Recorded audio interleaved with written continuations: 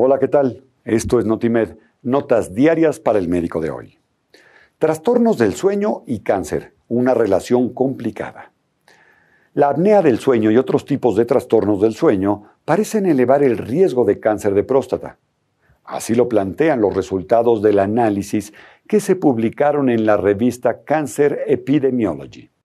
Los investigadores analizaron la presencia de apnea del sueño e insomnio y riesgo de cáncer en más de 8.500 pacientes en el Cardiovascular Health Study.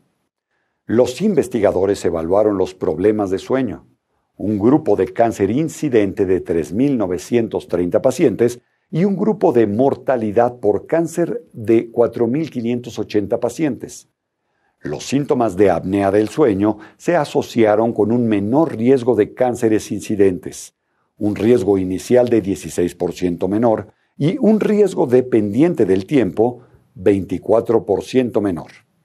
Sin embargo, hubo una asociación de un riesgo significativamente elevado entre los problemas del sueño y el cáncer de próstata.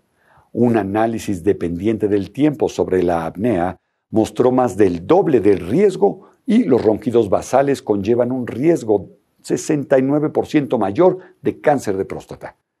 Los riesgos de cánceres linfáticos y hematopoyéticos también se asociaron con la somnolencia diurna basal, pero no con el insomnio.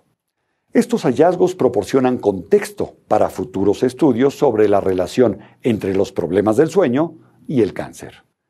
Esto fue Notimed. Nos vemos la próxima emisión.